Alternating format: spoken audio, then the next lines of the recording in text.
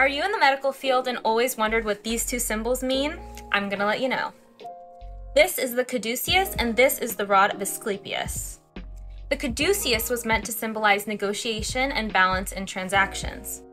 The Asclepius is what actually symbolizes medicine and healing, so let me tell you why they got confused. Instead of using the rod of Asclepius, the US Army started using the caduceus to denote medical personnel. So even now we recognize this symbol as the symbol of medicine, where the rod of Asclepius and Asclepius himself was the god of medicine and healing. I hope that clears things up.